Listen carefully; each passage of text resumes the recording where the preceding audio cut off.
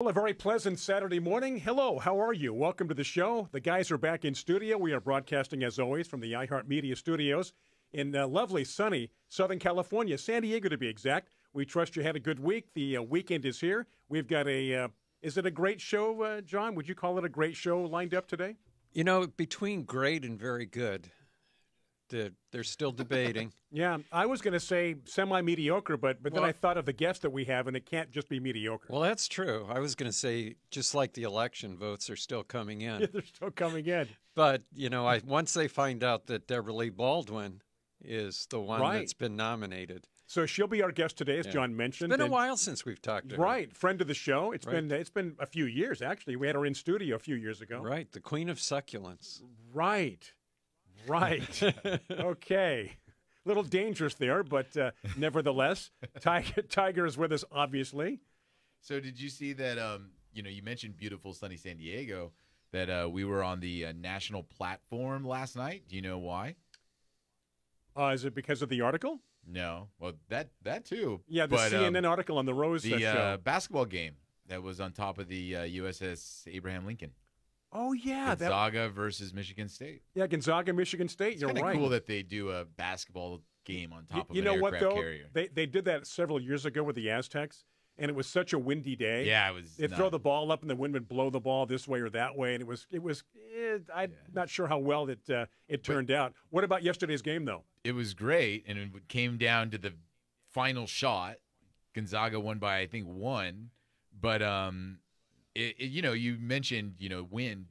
I don't know if there's a lot of places that they can do that in San Diego, uh, besides San Diego. You know, Right, a right. num- number one, there's not a lot of places that can have an aircraft carrier. Um, Well, we're one of those places. you know, We can have an aircraft carrier. and then number two, this time of year, I mean, the East Coast, it's going to be rain and wind and hurricanes. Right, and, right.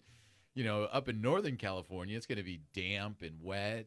You'll be sliding all over the court. So so there's the there's the uh, the basketball game that was on. Which ship was it on? the USS Abraham Lincoln. The Abraham Lincoln. So my alma mater lost. oh, really? You're Yeah. Michigan State. That's Michigan right. State. Oh. I, I don't follow college sports closely anymore, though. Is Magic Johnson still on the team? Yeah, yeah. Him and Larry Bird also. Actually, it wasn't Magic Johnson. It was back then. Was Earvin Johnson. Right, and it was Michigan State, right? Yeah.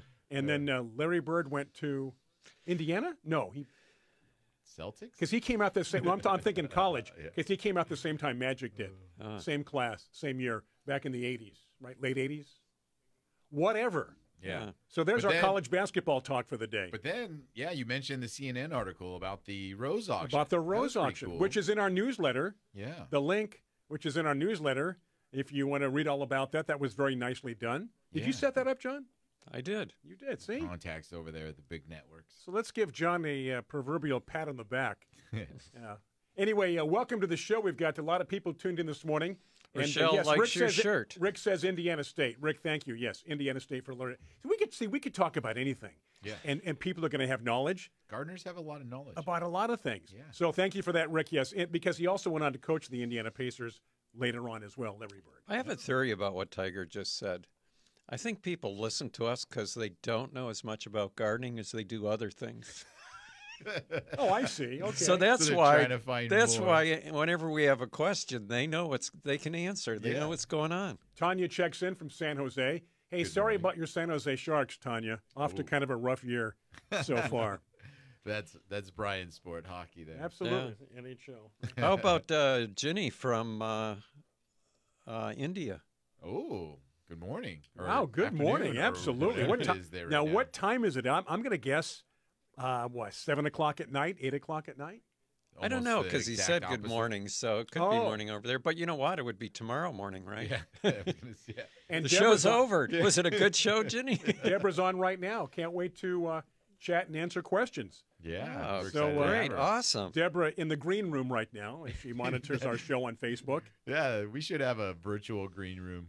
So, welcome to all those on uh, Biz Talk Radio listening to the pre recorded show from last week. As we always do, reminding you that if you are listening on Biz Talk Radio, want to see us, watch us live, go to our Facebook page, 8 o'clock on the West Coast, Eastern Time Zone, 11 o'clock, John. And we Yeah. got Central and Mountain, everywhere in between. You can figure that out.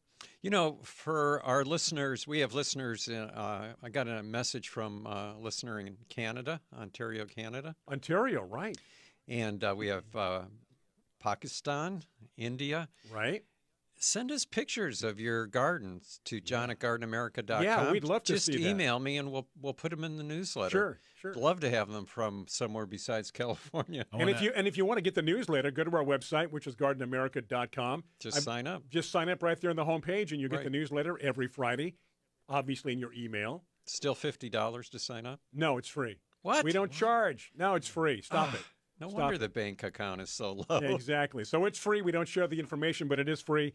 The newsletter gives you articles. It gives you pictures. We talk about upcoming guests. It's uh, something that once you get it, you can't live without it.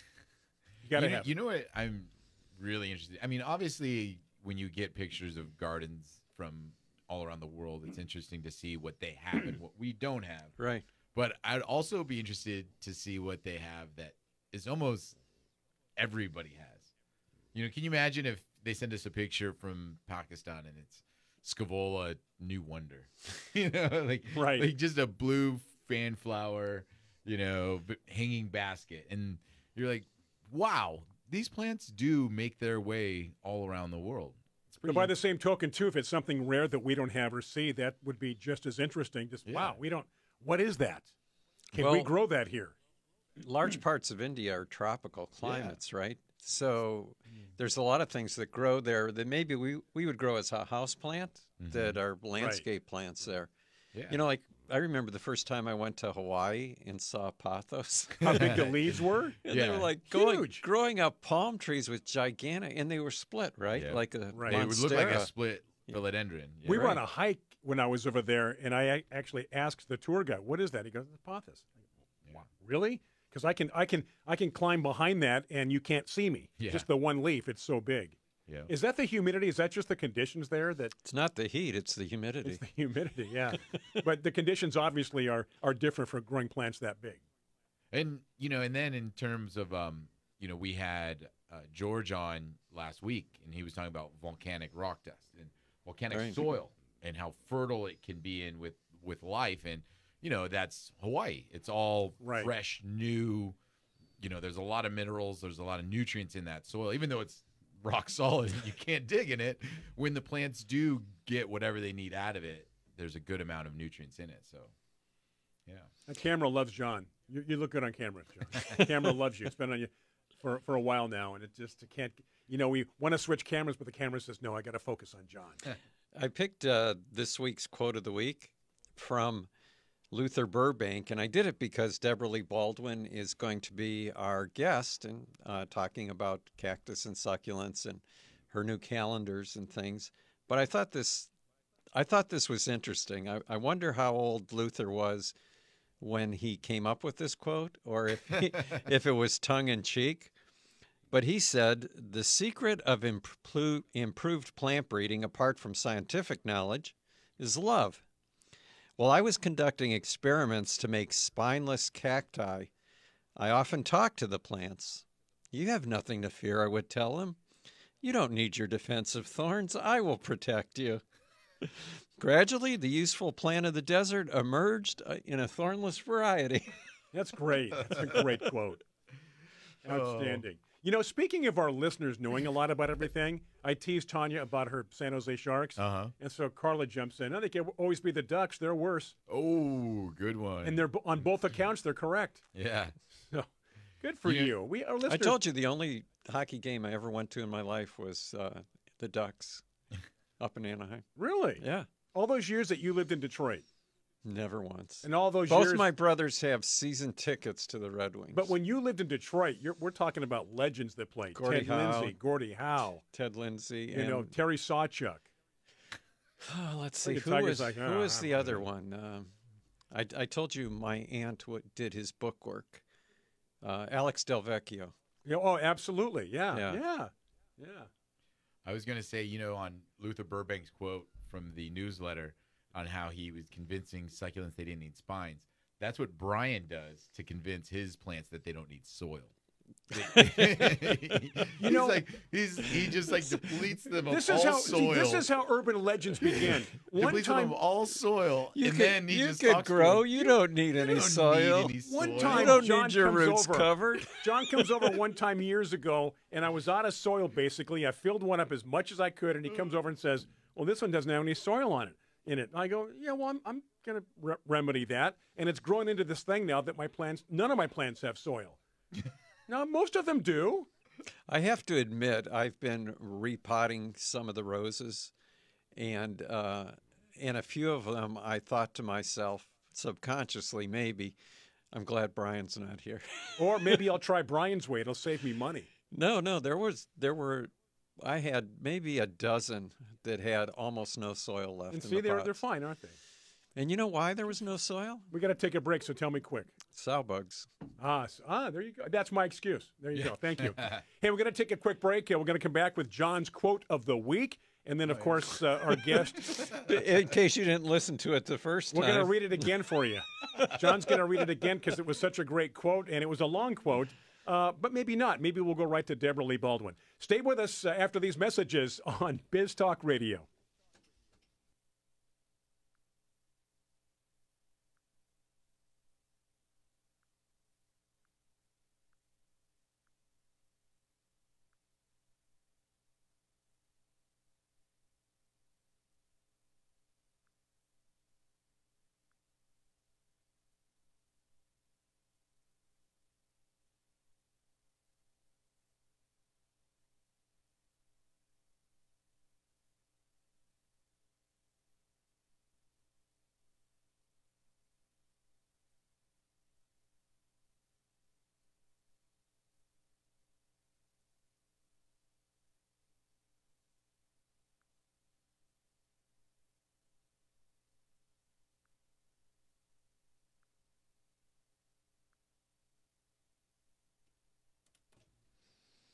Okay, we are back. Thank you for uh, hanging in there. As uh, we always uh, inquire, hope it was a, a good break for you. We'd like to know how the break was, be it Biz Talk Radio or just watching us between breaks here on Facebook Live.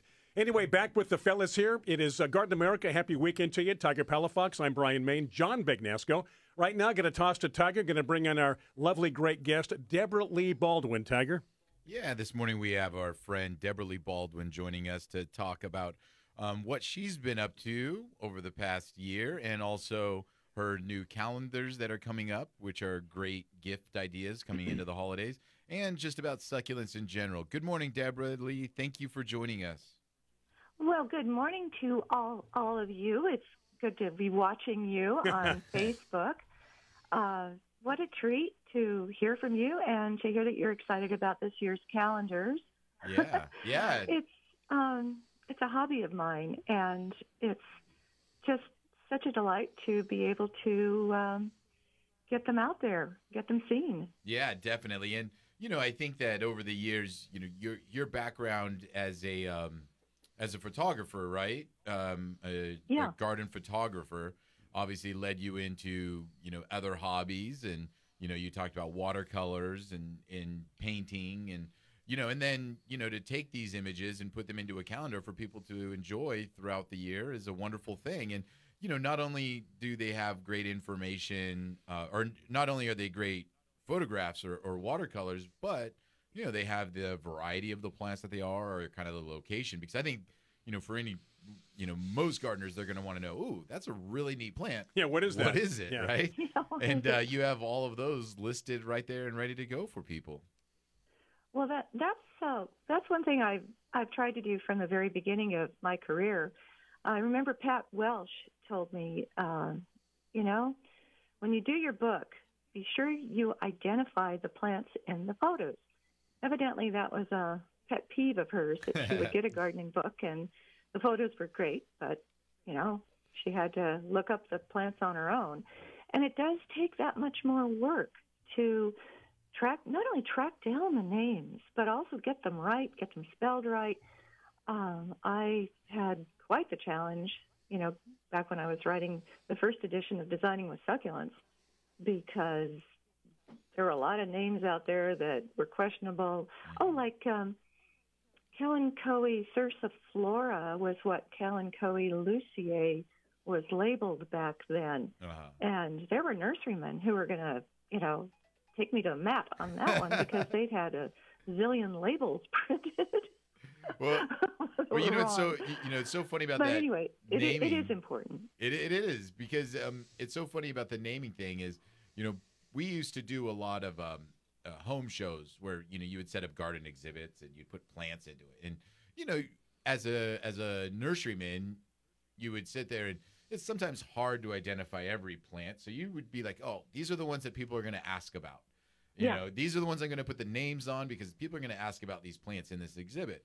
But no matter what, they'd always ask, you know, even the even the most common little plant that you're like, why are you asking me the name on that? You can find it anywhere, but they want to know what it is, and you know, so name on plants is very important because you you never know what's going to pique someone's interest, right? Yeah, a- and it, it's like getting to know a person. You know, you see them, they look interesting to you. Uh, you start learning a little bit about them, and you want to know their name. And it's it's nice to know the horticultural name, uh, but it's pretty much you can get by with the common names. Although that's controversial. You know, I, I remember when the the the first galleys came back of my book, and I had them spread out on the uh, dining room table because I was so proud.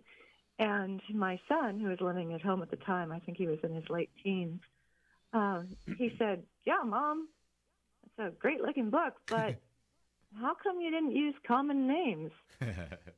And you know why? Because back then, Timber Press wanted horticultural names. And I went the extra mile and took a tremendous amount of time and effort tracking down correct botanical names for all the plants I showed, and occasionally threw in a common name if it was important. Well, by the time my third book for Timber Press came out, they wanted common names. So it was kind of going from the more intellectual, horticultural, uh, studious approach to the more people friendly. And yeah, throw in the botanic name. yeah, Well, you know, I think common names are like nicknames. yeah. You know, you can call Yeah. somebody Tiger, but you really want to know the his first and last name, Yep. and that's what botanical names Yeah. are. Yeah, and like you know, I mean, the common names are a common name because Because it- it- nobody can pronounce the other name. Well, not just that, but I mean, they could be for a number of things. You know, honeysuckle. Let's let's let's throw out honeysuckle out there, right? You know how many different honeysuckles there are, but there's what maybe five different botanical honeysuckles that are all honeysuckle, but botanically they're very different plants, and but people love to call them honeysuckle, and um, you know, it's very hard to pinpoint that exact plant. When we were when we were touring England, John, that was a one of the things, right? We would go with these tour guys, and they would say, "Oh, well, here in England, we call this Right. whatever." And we're Right. like, "Okay, well, you know, that doesn't help us in the United States because, you know, uh, it's a very different plant." Well, even different parts of the country. Uh, the first book I wrote was on houseplants, and in the Midwest, uh, the, one of the most common indoor plants was Swedish ivy. In California, they call it creeping Charlie. Ah, Yeah. yeah. But creeping Charlie in Michigan was a pilea, something completely different. So, Yeah. so really, if you want to know exactly what a plant is, I think the scientific names are important. And and Debra, why can't everybody take a couple years of Latin and Greek? yeah. Well, you know, I took two years of Latin, uh, wondering the entire time why. And I'm very glad I did. And now I wish they'd thrown in some Greek. Yeah. That would have been helpful too. But but back to creeping Charlie. Um, do you think that's a succulent? Ooh. the Plectranthus? Yeah, It sure feels like it, huh? if, it's it's on the fence. yeah. yeah. Well, let me ask you. Let me ask you a question. What sounds worse, creeping Charlie or peeping Tom? Well, there we have a question from Brian. hey, Debra. Um, regarding the calendars, I've always wondered about putting together a calendar, and you know, why you picked the pictures for the months that you have. Oh, and we do have about a minute left of this segment, so I might have to cut you off in the middle of this, but just a heads Oh, yeah. Well, I won't go through all 24 images. but, uh, you know, sometimes something's shaped like a heart and it Oh. seems appropriate for February. Sometimes something looks lacy like a mammillaria plumosa, and that might work for June. I try to get something that looks like a um, oh star for for December, but um, yeah, it's Okay. it's just very arbitrary. nice, nice. No, good way to do it. All right, when we get back, we're going to continue talking with Debra Lee Baldwin, and we'll be talking about her uh, upcoming videos on YouTube and what she already has, and about more succulent stuff. So do stay with us. I see a question on uh, Facebook Live. So if you want to uh, answer, or I should say, ask your question or make a comment, uh, please do so on our Facebook page right there in the comment section, and we'll address it with uh, Debra Lee Baldwin when we return. And again, this is uh, Garden America. Welcome to the weekend. Uh, good to have Debra along. I'm Brian Main, John Bagnasco, Tiger Palafox. Do stay with us. We're going to take a break for our friends on Biz Talk Radio.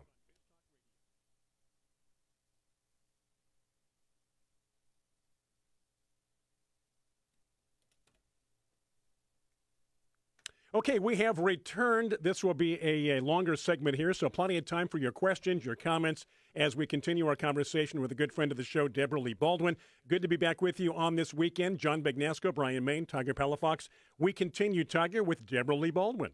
Yeah, and as I mentioned before the break, Debra Lee has a wonderful YouTube channel where she has videos that talk about uh, succulent crafts, um, some containers, um, projects, large and small. And one of our friends, Susan, um, from the program, sent me a video that you did um, where she converted her fish pond into a succulent garden. And um, I, the name escapes me. I know it's Laura Eubanks' daughter. Um, I don't remember her name though. No, yeah, it, it's Anna Eubanks. Anna Anna Eubanks was the one doing the design and the layout for it.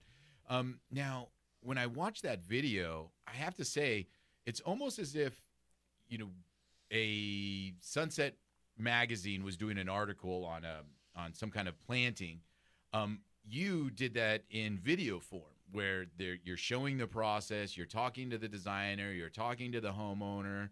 You you've got all these cool little tips and tricks and information about why they did what and why they used what, so that if somebody's looking to do a project big or small, you, you probably have a video on your YouTube channel that covers it, right? Well, and and uh, just a shout out to Susan, who is a longtime good friend and a fan of the show, and has traveled with you and and uh, and uh, very active in the San Diego Horticultural Society as a volunteer in past years. So, uh, yeah. Oh, where should I start? You know, I used to be San Diego's scout for Sunset Magazine. And I also wrote for San Diego Home Garden and Sunset and other publications like Better Homes and Gardens. So that was probably, you know, of all the things I've done in my entire career, the most fun because I would discover creative talent and oh, homeowners that had a lot of foresight who would hire these great designers and I would be the one who would go and take scouting photos and show them to my editors and then get assignments to write about them and to try to generate the same excitement and interest and also provide practical tips for the readers. And I would set up photo shoots. Well, that was, you know, back around the turn of the millennium. And it was probably the most exciting and fun thing I ever did in my life. And I did it for about a decade.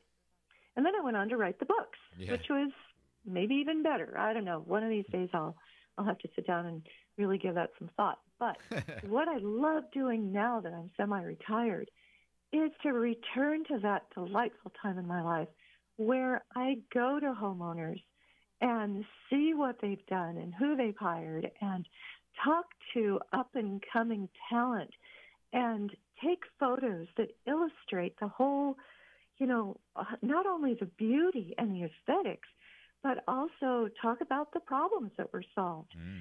So here we have uh, Susan, who is a longtime terrific gardener who had a koi pond that she decided, you know, it was time to get rid of. and there was a lot in her history of ocean, uh, you know, fishing and going to Mexico and bringing back great uh, souvenirs and shells and things.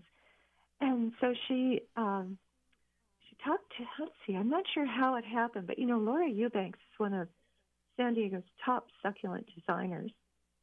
And her daughter works very closely with her, and they have a fantastic, extremely popular YouTube channel. Laura Eubanks uh, actually shows hands on how she does plants and goes to clients' homes, and I mean, it's terrific. And then there's Hannah, who is young and beautiful and gorgeous, and who has just absorbed all of her mother's talent and awareness and plant knowledge. And she's absolutely delightful, gorgeous on camera, and she's starting to branch out a little bit on her own. Well, I was on her like a hound on a on a meatball. I mean, she was just she's just so oh everything that the gardening world needs. She's such a breath of fresh air, and she's got great potential Good. to be that spokesperson for great design and using succulents. Yeah. So not I mean Laura did a video on Susan's garden and and that's you know definitely watch that on Laura's channel. And she's the proud mom. Um, but I'm like, hey everybody, you know, Yeah. look at Hannah Eubanks. yeah, that and is. she's absolutely fantastic. I know- can't say enough good things about her. you know it's it's a it's a great video and you know kind of back to the idea of your videos is the reason why I tell people wherever you're at to go on garden tours. You know, a lot of garden clubs across the country put on garden tours, and you get to go in people's backyards and you get to see, um, you know, what they've done with the space that they have. And for some yards, they're large estates. For some people, it's just small, little, compact backyard in an urban environment. But everybody's worked with what they have, and you know, you get inspiration.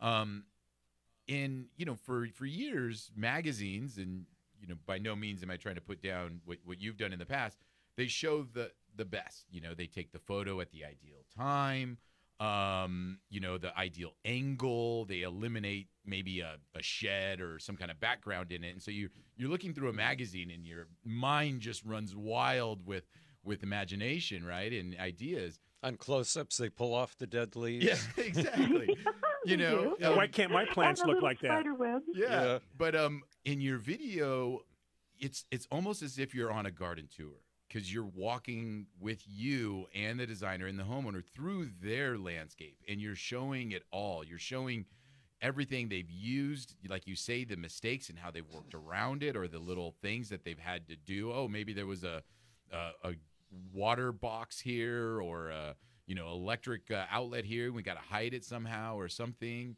Um, and so I feel people, no matter if they do have a small garden or a big garden, your videos show it as if they're on a garden tour. And I think that's Well, really neat for people thank to you. see. Yeah, and and for some of that, you know, practical stuff like, you know, like florists say, hide your mechanic. well, you don't you don't want uh, some utilitarian thing drawing the eye. yeah. You you don't want it in your sight line. You don't want it as a focal point. And what we tend to do is have familiarity blindness. We know that that utility box cannot be moved and is a permanent fixture. Therefore, we just sort of ignore it like it's not there. We bring in a designer with, with a fresh eye, and they will conceal it or draw the eye away from it. If you want to do that on your own, here's a trick. You get the biggest mirror you can carry. Hand mirror is fine. You go outside. You turn your back to a garden that you've seen a million times. You no longer see it, and look at it through the mirror. Everything's reversed, and things will jump out at you like, "Oh my gosh, there's a utility box on the wall right behind my, you know, favorite plant."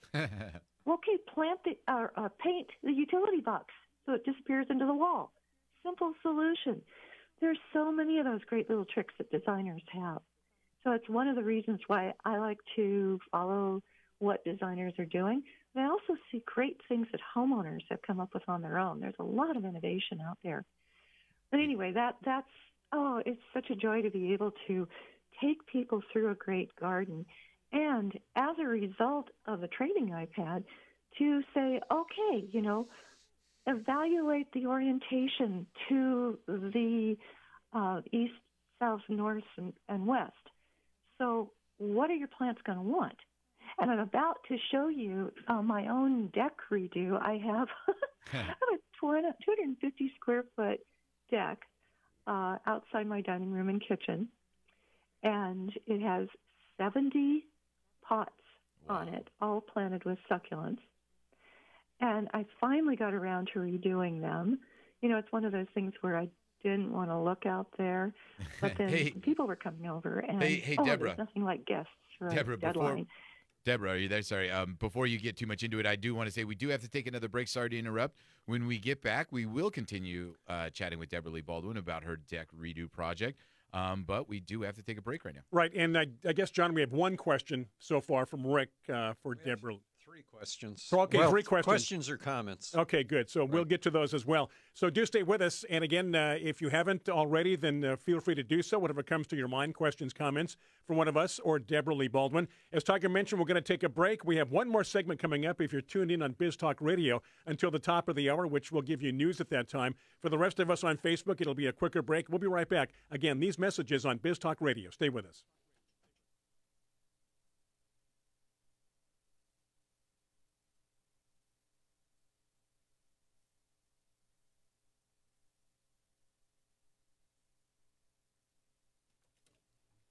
We are back from the break. Those on Biz Talk Radio, thank you for tuning in each week. This is a pre recorded show from last week. You've got news coming up top of the hour. If your market does carry us for the second hour, we return at six minutes after. Uh, this morning, uh, the conversation is with our good friend, good friend of the show, Debra Lee Baldwin, talking uh, about succulents and plants in general as we continue our conversation. And again, we do apologize, uh, Debra Lee, for having to uh, cut things off there to go to the break to fulfill our network obligations. Yeah, and you were just describing your was it 200 square foot patio that had 70 containers on it full of 70 wonderful, containers. Wonderful plants. And, and sure. so I gave an awful lot of thought to you know the orientation to the sun because some of those plants will get scorched in summer.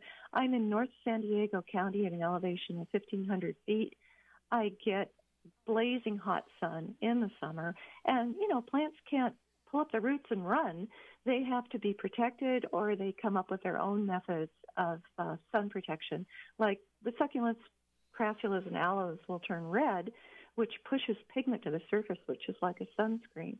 So, and I want that. I want that look. So maybe I'll put them over by the east railing. And then there's others. So the point being is I'm going to go through my deck renovation and the plants and pots that I've redone.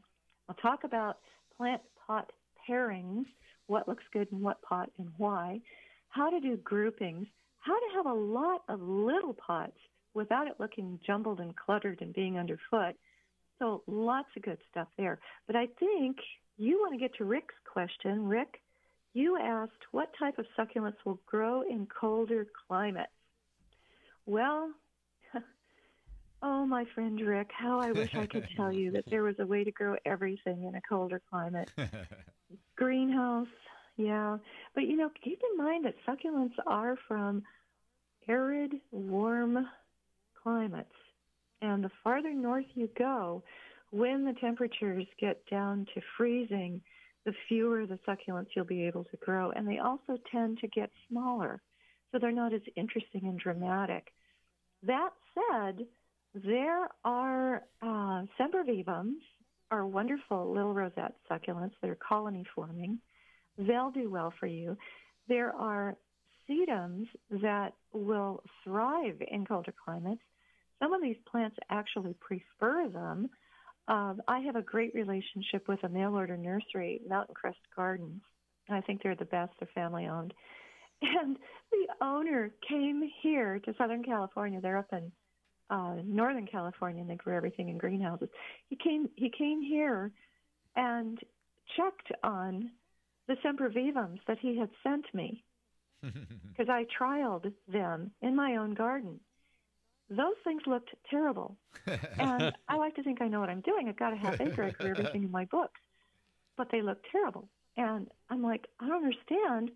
You know, these are supposed these jovibarbas and all. They're supposed to be they're supposed to be thriving here. What's wrong? They don't get enough cold at night. So it's it's a it's something that I can't do anything about unless I create a climate controlled situation indoors that is maybe going to lower those nighttime temperatures. It's also going to give them the full spectrum light they need that simulates sun, sunlight during the day. So, in a nutshell, Rick, you can grow any plant on the planet if you replicate its native growing conditions and you're willing to take the trouble to do it. Yeah, there you go. And that's a that's kind of a rare thing and you know, people being like, "Oh, how am I going to simulate the cold of an environment here in Southern California?" But you if, know what? but if you want Well- to, you can. And you know what the hardest thing is? Climates with humidity. Oh yeah. Yeah, I mean you can keep you can cover your plants, you can keep them warm, you can do all kinds of things. But one thing you really can't control is humidity. And the echeverias you'd think would grow really well in Florida and Hawaii. Not so much, especially not in Florida. They they're just not set up to handle that kind of humidity. And when you think about it, most succulents are from very low humid climates. yeah. So there, yeah, you know, that's a that's a failure kind of built into the whole thing. Yeah. I wish know- it weren't that way. I remember the first time I went to Hawaii. Um, uh, I get I have the image in my mind now because we went to visit succulent gardens, and uh, it was an attempt at a succulent garden, but to me it looked like the whole landscape was melting. It just Aw. looked pathetic, Well, and it's because of the humidity you're discussing. Yeah, and some uh, some succulents are just tougher and better at adapting to less than ideal climates. And you know what I saw a lot of in Hawaii, and I was I was thinking, gosh, these plants are gorgeous here. Was agave attenuata. oh yeah. The, yeah, the foxtail agave, the smooth-leaved green agave that is so prolific along the California coast. It doesn't it doesn't do real well inland because it's very frost tender and literally melt. hmm But there in Hawaii, you know, it's like the pothos. It's Yeah. like, good heavens, those things grow large here. Yeah, and and they're the kind of plant that just fall off of the back of a truck and will root somewhere. So Yeah. uh, Yeah. you know, it's kind of kind of nice like that for sure. By the way, Rick is in Star, Idaho, and um, I, you didn't mention it, Debra, but if he goes to your website, uh, as I recall, you had uh, a discussion on cold hardy succulents and Yes. cacti. Uh, and so if you go there, Rick, and um, I, I think you'll get some great ideas from Debra. Yeah. Well, and what I'll do um, when I can actually, you know, get to my keyboard is uh, put these links in there. So Oh, good. where Rick's comment is under reply, Uh-huh. I'll put a link to that. Wow. That'll, that Wow. hopefully he'll find helpful. Yeah. Personalized Yeah, attention. doing a lot of our work for us. We appreciate that. Gina, I who's get, al- I get questions from all over the world.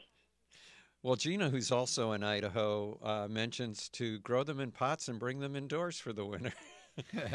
Yes, and you know, Gina, thank you. That that that is one of those obvious things that I skipped right past. Yeah. Uh, you know your climate, and you can grow wonderful uh, succulents. In fact, one nurseryman up in Idaho told me, just grow them as annuals. Yeah. You know, if you don't want to, if you don't want to bring them indoors in the winter, uh, just consider them annuals. Yeah, that's a great idea. Hey, we're gonna have to take another break. When we get back, we'll continue chatting with Debra Lee. Um, and uh, this will be our last spot chatting. So make sure you get your questions Yeah, in. absolutely. And uh, those on Biz Talk Radio tuning in, news coming up top of the hour. If you do get our show the second hour, we come back at six minutes after. We will continue our conversation and wrap things up with Debra Lee Baldwin. So do stay with us. Welcome to Garden America. Happy weekend or whenever you're listening to this show. Brian Main, John Bagnasco, Tiger Palafox. And again, back after news and these messages on Biz Talk Radio. Stay with us.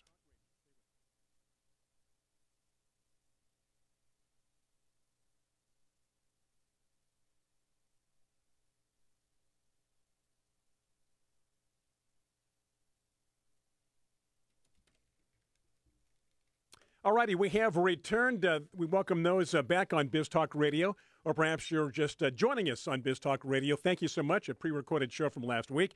We continue with our guest, Debra Lee Baldwin. Welcome to Garden America. John Bagnasco, Brian Main, Tiger Palafox. Tiger, uh, we flip it back to you and continue with Debra.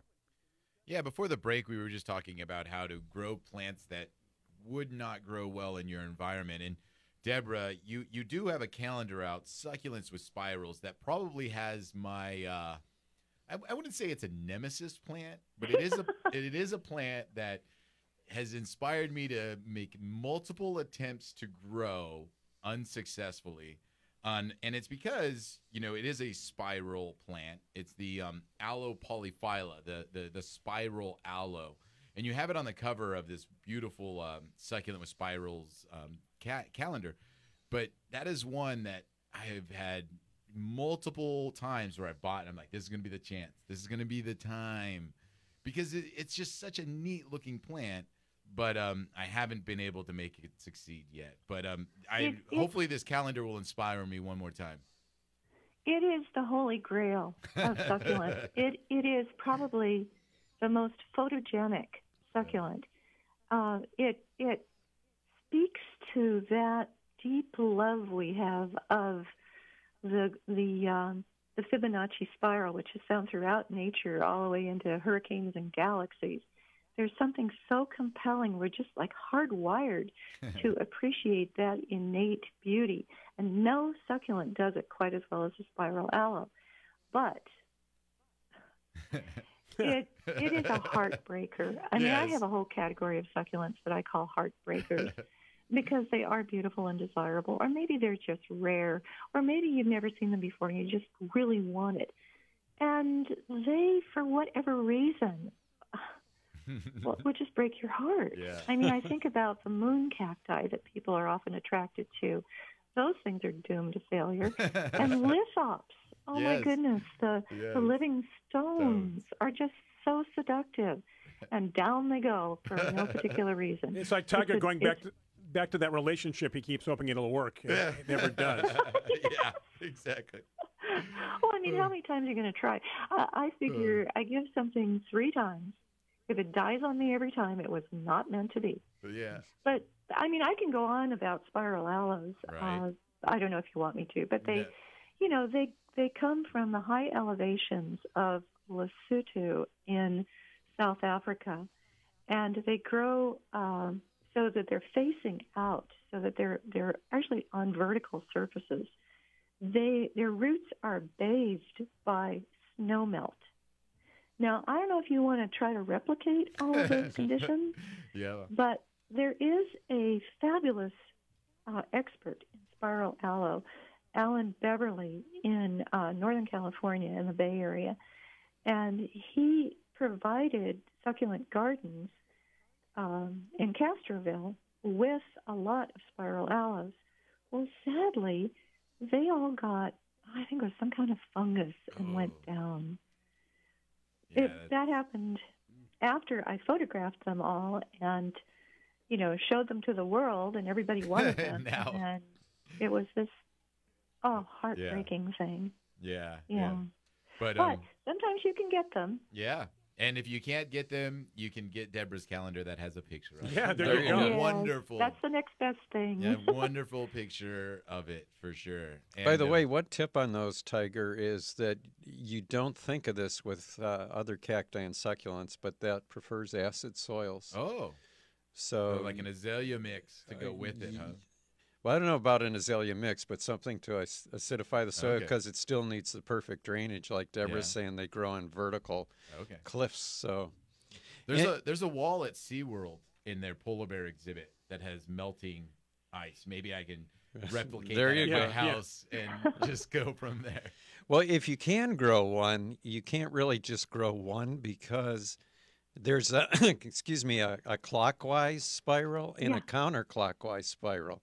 Oh, you need them both. So you need both. oh yeah. goodness Yeah, gracious. that's that's the ultimate. Yeah. yeah, the ultimate gardener right there can grow the clockwise and counterclockwise ones, huh? Carla mentions that she's just going to stick to the pictures.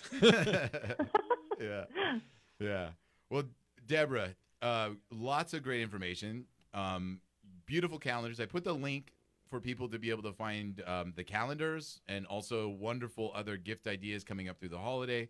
I did put the link to um, Hannah Eubanks's video that she did, which also takes uh, our listeners to your YouTube channel um, to find out for more uh, videos. And um, yeah, we will keep in touch.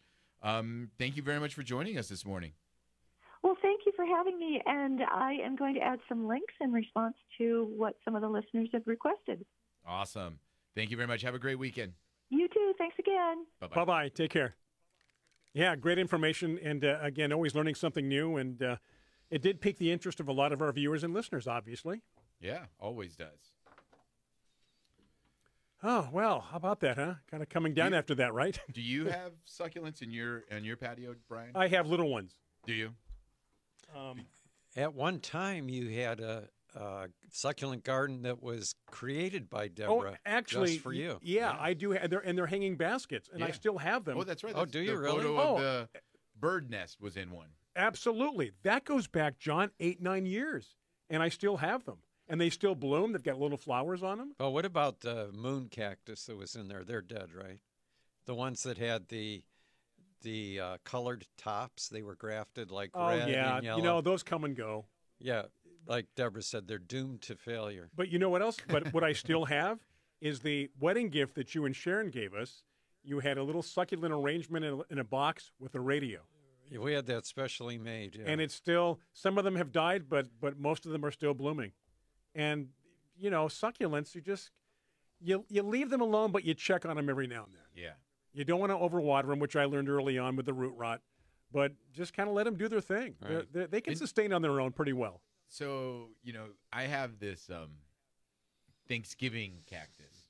I can't. I forget the botanical name of it now. Zygo cactus. Zygo cactus. Yeah. Right. Zygo cactus. or not the Schlumberger. No. sure. Schlumberger? No. No, Schlumbergera, Oh, Yeah. Which is a Christmas, Christmas cactus. cactus. No, Right. it's a Thanksgiving one. Right. and um, it it definitely isn't doing well because I don't really take that great of care of it, but it's not dying, you know. And that's sometimes what succulents do, is they might not thrive, They're just there. you know, but it didn't die on you, and Right. and every once in a while you see it and you're like, ooh, you're on the verge of death, and then you just give it a little bit of water, and it's like, oh, hey, I'm I'm here again. Don't worry about me. Give me another Mm-hmm. Yeah. year. I'll be fine. Yeah.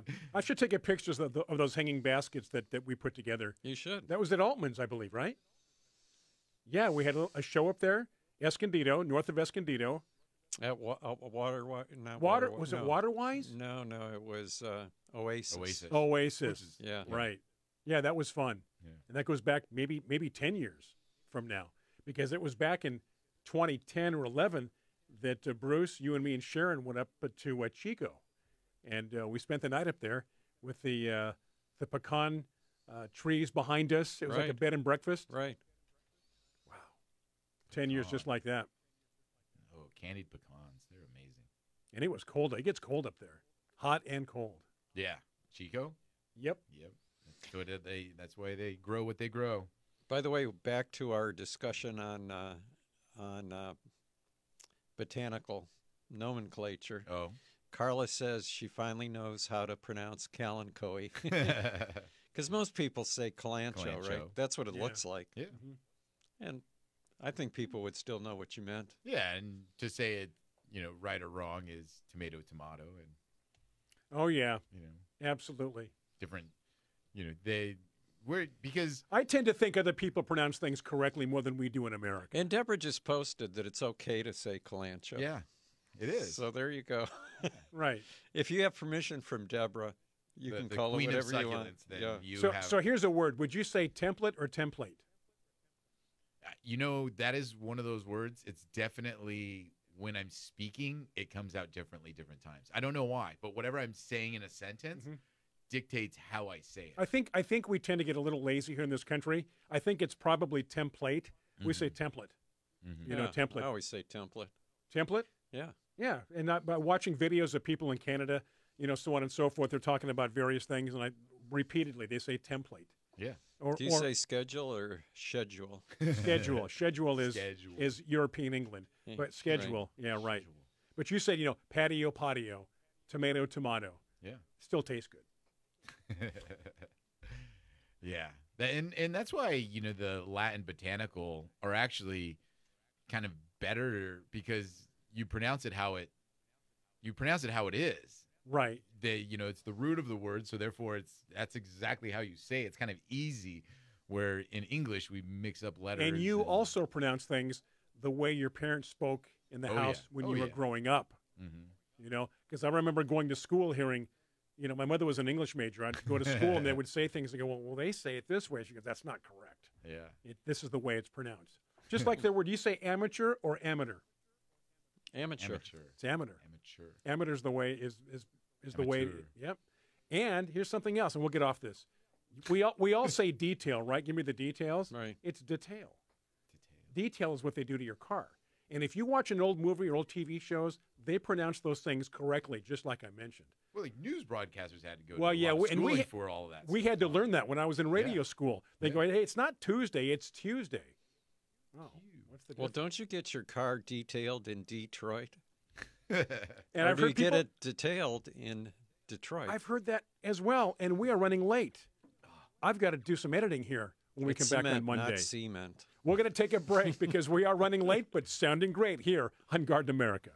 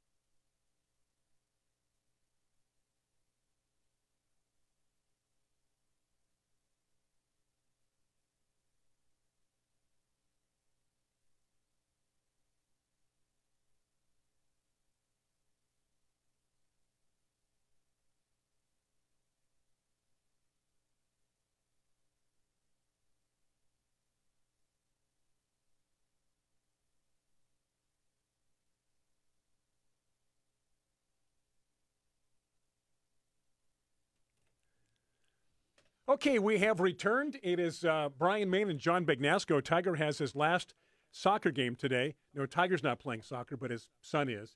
Isaac. Isaac. So he's heading back down to Chula Vista for that soccer game. So for the rest of the program, we've got uh, one, two, three segments left. It'll be John and myself. So feel free, questions, comments.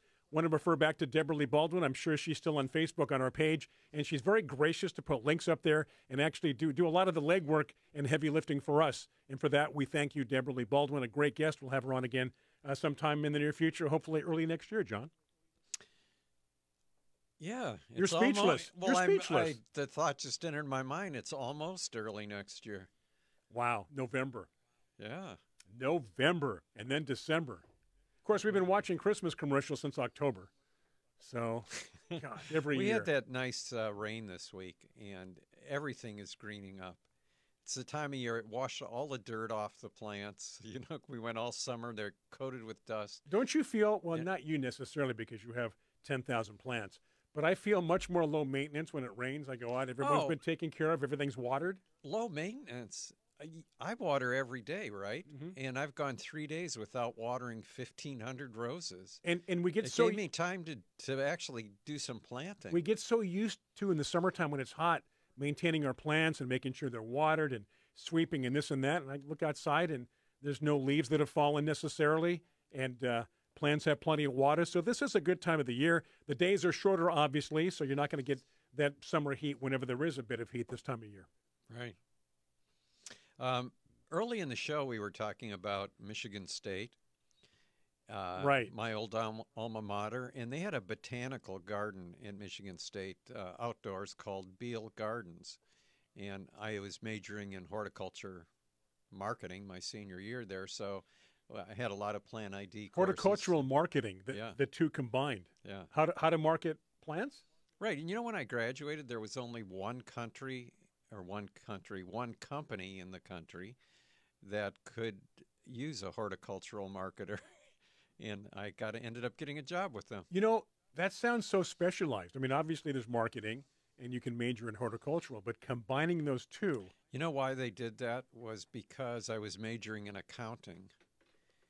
And I told you this story many times. I just know you flunked out of chemistry class, but go ahead. That was University of Michigan. But uh, I was majoring in accounting at um, Michigan State. Uh, and my thinking was, well, I'll get a job when I graduate. I'm sure I could get a job, right? But my junior year, I was sitting in class, and the thought entered me, entered into my mind, I could end up doing this the rest of my life, and I hate everything about it. Wow. And I was living with 15 other guys in a co op, and one of the guys was majoring in horticulture. And I would help him with his homework every night. And it, the thought entered, you know, this isn't fair. I hate what I'm doing, and I'm helping him with what he's doing, and I love it. So I, I walked out of the class, went to talk to my counselor, and he said, Well, he says, You're going to be a senior next year. It's too late to get a, a horticulture of science major. He said, Why don't we get you a degree in horticultural marketing? Because you won't have to take any business courses. Your senior year, you can take just horticulture classes. And did you have any business courses prior to that? well, all my accounting All the courses. accounting, so that- right. that- I had that- marketing, I had accounting. That qualified you, basically. Yeah, yeah. Okay.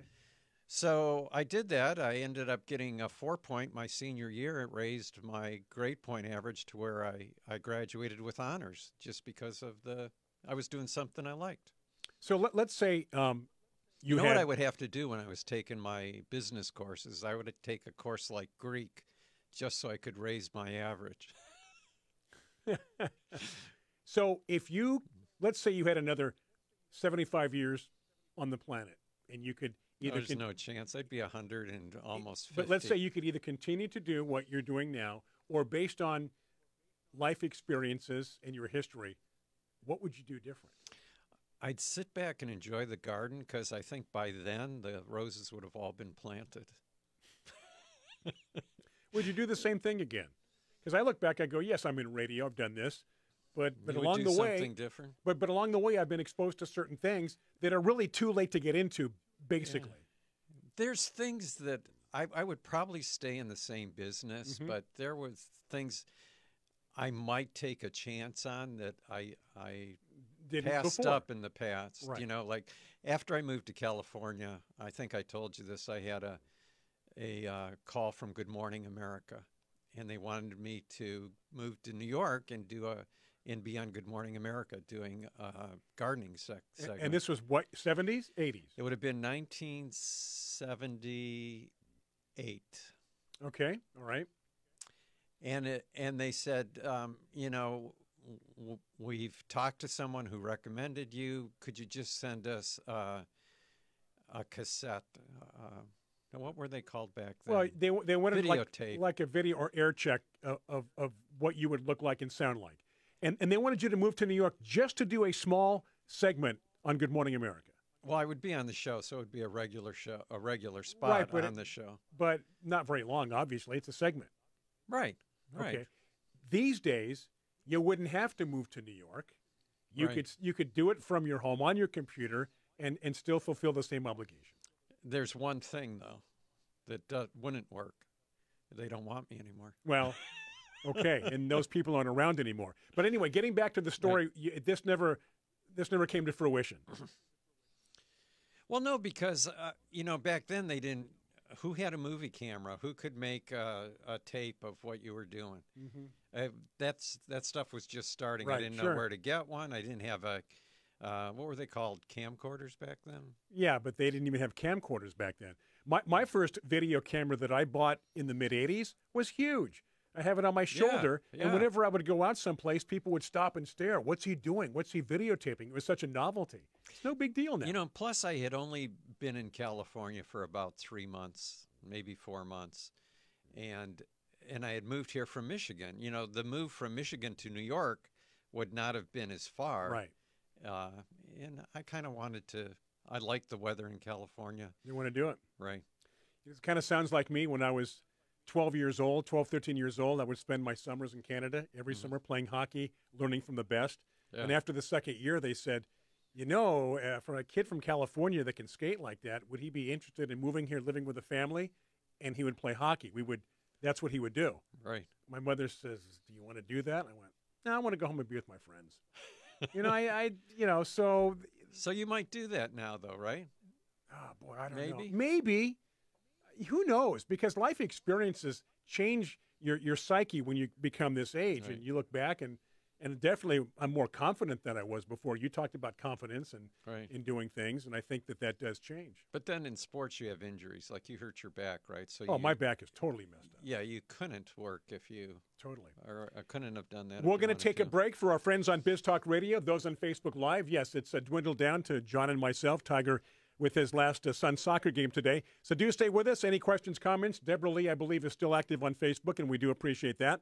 So with that in mind, we have, uh, let's see, two segments to go. We're going to take a break. Brian Main, John Bagnasco here on Garden America. Welcome to the show.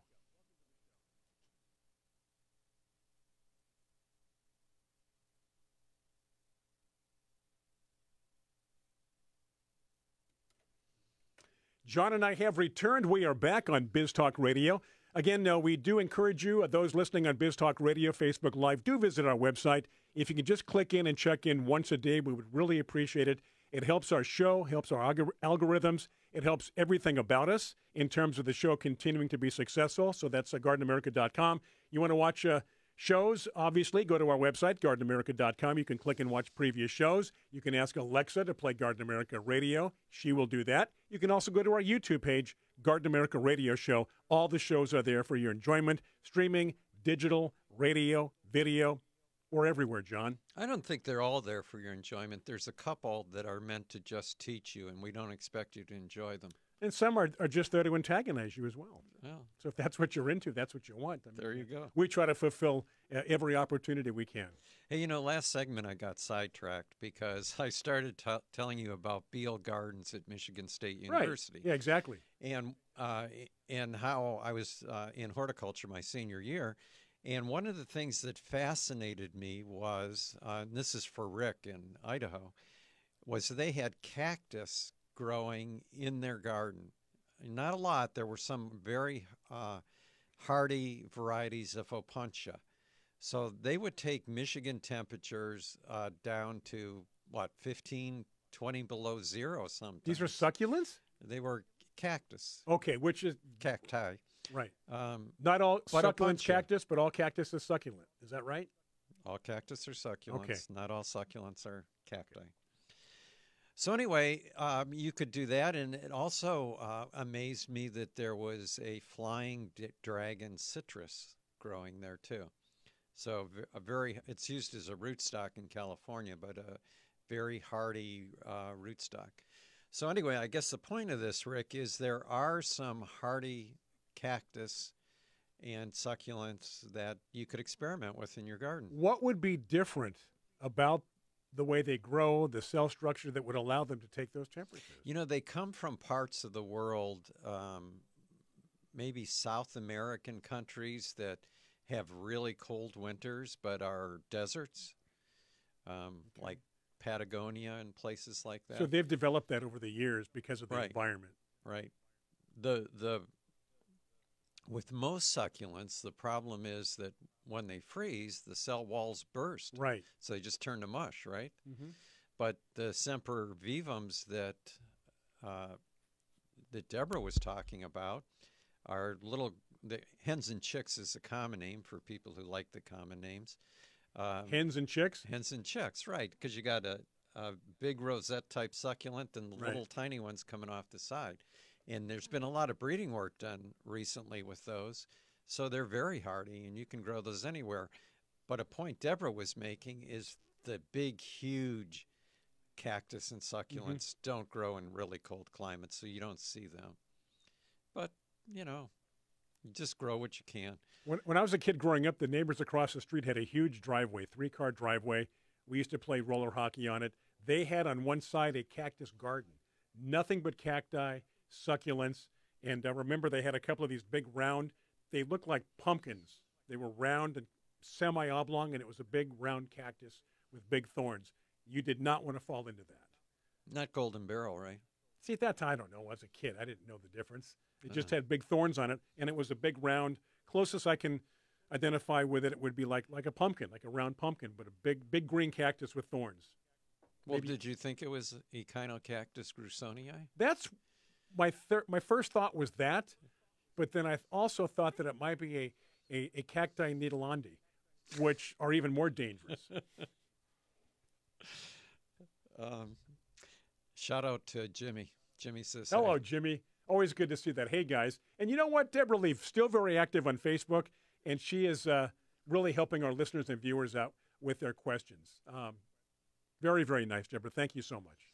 Patty in San Marcos mentions that it's been three weeks since she's had her air conditioning on. It's been off for the last three weeks, so saving some money. And I've even had to put the heat on a little bit. I do- Really? I just, yeah, a little bit. Get in the shower, get the heat going, get out of the shower, turn it off. We haven't done that, but we two or three times have turned on the fireplace. Well, that's good. You still get some heat from that, right? Yeah, just enough to kind of break the cold. But it, it's but cold. when I got up this morning, it was 41 degrees. What about inside your house? That was inside. Really? No, inside was was cold. It was it was probably like 60, 59, 60 inside. Yeah, and that's cold. Yeah. That is cold. Yeah. So it's getting that to be that time of the year. And again, those listening to us, various places of the world and the country where it's very cold right now, maybe snowing down in the 20s and 30s, they're you know I, they're saying I wish it was 69 or 55, whatever the case may be. Well, you know, my daughter lives in Idaho and my son lives in Indianapolis, and both sent pictures today of snowmen that they made. Um, my son in Indianapolis said that uh, yesterday the temperature was 76, and the day before that was 70 something, and today they built a snowman. That's incredible. Yeah. Hey, by the way, speaking of that, today's my son's birthday, Eric, Oh, who used to be our phone screener when he was, I want to say 9, 10, 11 years old.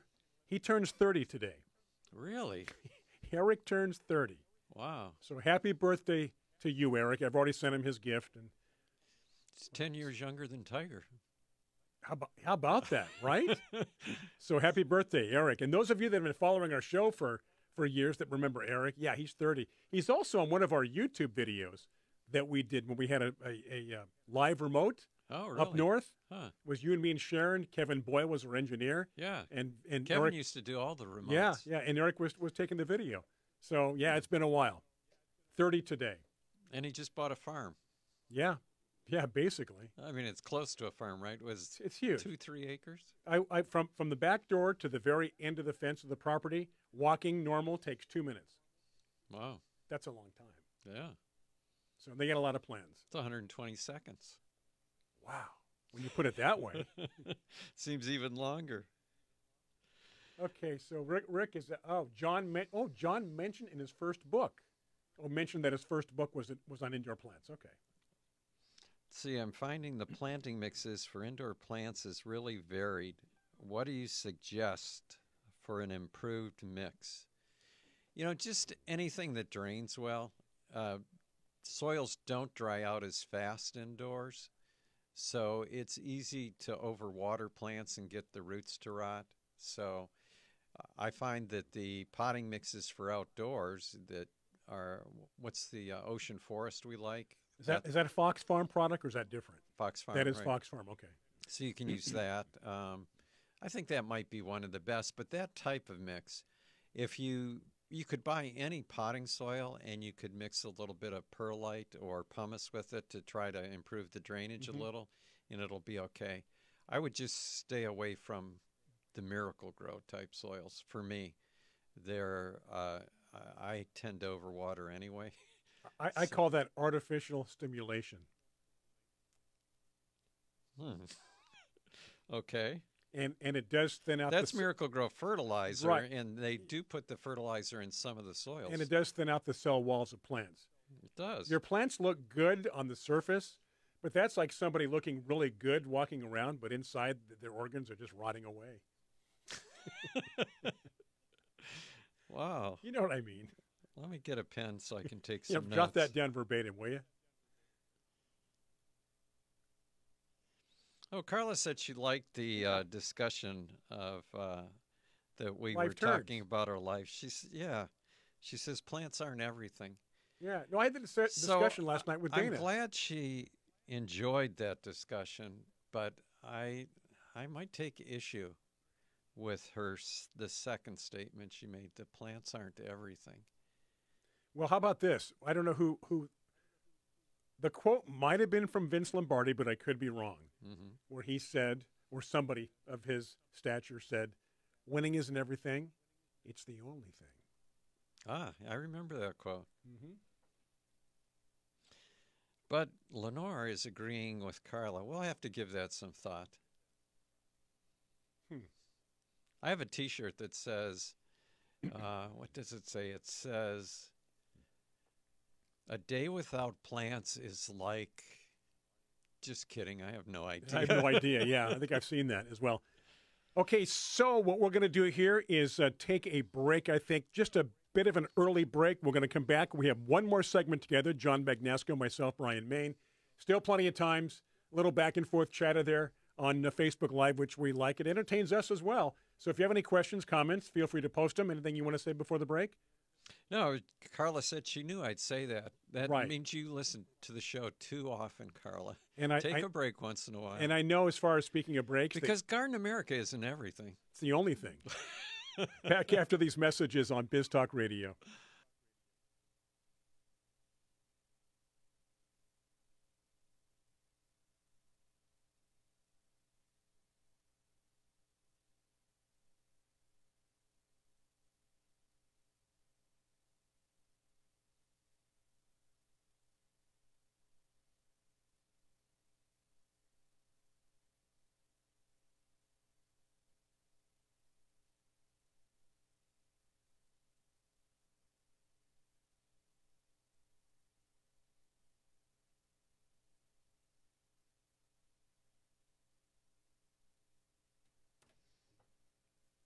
Okay, we are back. It is our final segment on this uh, Saturday morning, maybe Saturday afternoon, depending upon when you're listening. Uh, Tiger is off with his son's soccer game for the last time this year. It's back with uh, yours truly, Brian Main, John Bagnasco, right in front of me. And again, looking at um, our Facebook page, Debra's still involved and going back and forth, answering questions, posting links, so on and so forth. And again, it's been an entire show with Debra Lee Baldwin here uh, talking to her, and of course, Right. uh, afterwards on Facebook. And then Millie had a, I think Millie is in Nipomo. Uh, she had a question uh, that she hopes Debra can answer, but she said that she has uh, spiral aloe that she's had for five years in a pot. Really? Yeah. And it's doing well, I Well, except the leaf tips all eventually yellow and turn brown. So she wants to know if she, Debra, might have any tips. And I don't know if Debra's still there, but if she does, maybe Debra will answer. But I noticed that, uh, unlike other aloes, this one does appreciate some shade. So if you can keep it, if it's in a pot, make sure that it's not in direct sun in the hot summer months. The rest of the year is fine. But in the summer, if you can move it to where it just gets morning sun, that might be best. Sounds like a very challenging plant to grow. Yeah, you know, the first time I saw that was at Antonelli's Begonia Gardens up in the Bay Area. And I walked in and I saw two of those plants, and I was like, oh my gosh. That was way before I even knew anything about succulents. Just what is that? Look at that thing. yeah, and it, it, uh, it just captivates you to look at. It's like, how can this even be real? Right. Yeah. So I bought one back then and killed it. I Debra said that she stops at killing things three times, and I think I've maybe had ten of those. I don't think that's the right term. Like I killed it. That that would be like a, a, a uh, something you set out to do and it was a deliberate act on your part. I think you just let it expire. Yeah, I. Yeah, it's not killing it. No, you didn't go out there and pour poison on it or do something to kill it. It, it you allowed it to you allowed it to commit suicide. Well, there you go. I don't know. You know, I am tempted to try another one. Well, of course, that, that you know, gardeners are, are like that. We don't want to give up. Except I'm going to wait. I'm going to wait until I have an ideal location to put it outdoors. I think uh, I have some new trees that I've planted, but since I planted the trees from seed, they're not large enough to grow anything under yet. But when they get a little bit bigger, I might try growing one under. Ta- Tanya there. says Antonelli's. My parents used to take us there as a family when I was young. Yeah, that was. Uh, it was an amazing place. Uh, they were famous for breeding tuberous begonias. They would have those uh, huge begonia. And did you ever visit uh, when you were young um, Weidner's begonia farms No, in No. Leucadia? no.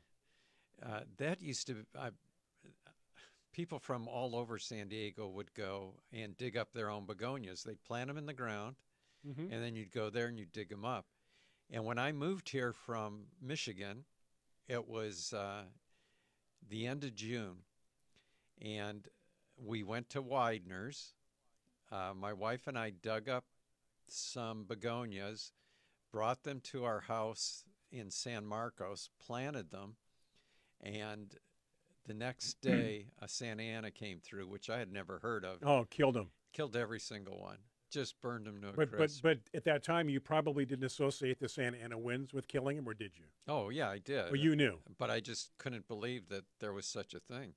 It's like the weather was so nice. I mean, the first night we went to bed, all the windows were open. We woke up, we were freezing in the morning. it's like, how can it get so cold? It was so hot. Get it from Michigan to Southern California. Yeah, it was a learning experience. Yes, yes, Nipomo, right. I'll make sure. Yeah, now see, we've this is great when when our Facebook viewers uh, chit chat back and forth on Facebook. Yeah, the um, that's just one of the things. You know, Debra was talking about the Aloe polyphyllas, the um, and and how sensitive they are to who knows what, a lot of different things. So, I'm s- I'm impressed that Millie kept hers alive for five years. Right. I had one growing in the ground, and in the ground it was doing well until something ended up co- ended up covering it up and it died. And I don't know what happened. Something ended up covering it up. Yeah. What does that mean? You're not you're not being straightforward with me. Something ended up covering there it were up. there were plants nearby, Okay. and they ended up getting growing out of hand. I didn't trim them back the way I did, or should have, and they covered up the plant. And then when I realized, oh, I, my aloe's under there somewhere, it was too late. So it's operator error. That's exactly right. Okay, got a couple of minutes left in case you want to uh, post something last minute to us. But again, Debra Lee, I believe, is still active, and uh, people are going back and forth chit chatting on Facebook Live. Yeah, Carolyn says that she loved uh, Weidner's begonias, and that uh, Evelyn Widener spoke at their garden club. Oh, how about that? Evelyn was an interesting person. I really liked her. She um, she was an inter- matter of fact. She started uh, in a way the whole proven winners movement, Really?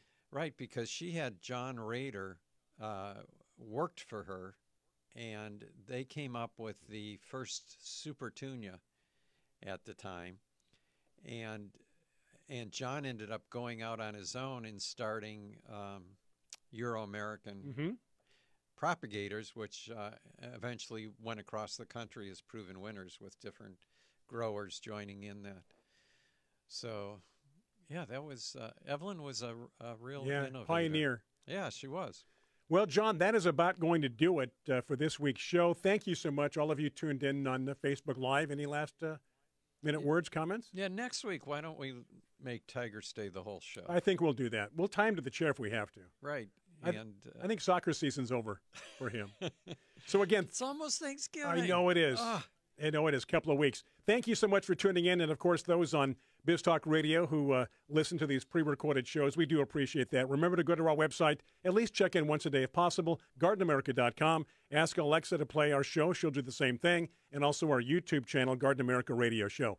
For the entire crew. Myself, Brian Main, John Bagnasco, Tiger Palafox, and of course, all of you who support our show. We love the hearts. We love the love. Enjoy the rest of your weekend. Be safe. And we'll do it again next week, right here from the iHeart Studios in San Diego, California. Garden America. Take care.